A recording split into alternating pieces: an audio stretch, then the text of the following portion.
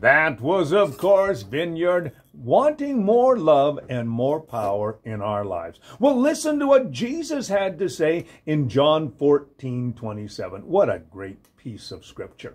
He says, Peace I leave with you, my peace I give you.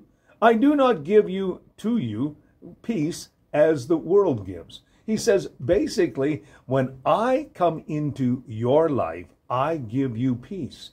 And it's not like the world gives, which is, of course, transitory and momentary. He says, Your hearts are going to be filled with that absence of personal conflict and warfare. You're not going to have strife going on in your life. So, because He brings that peace into our lives, and remember, Jesus is the Prince of Peace. He says, For that reason, you do not have to let your hearts be troubled, or you don't have to be afraid. Why? Because you have the Prince of Peace. You also have the one who dispels all fear in your life.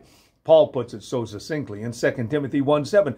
God has not given us a spirit of fear, but of love, power, and of a sound mind. It is the love of God that flows into our lives that gives us power over fear and gives us, of course, that soundness of mind. And when you have that soundness of mind, you're not afraid and you're not troubled. Oh, that's a great verse for us today.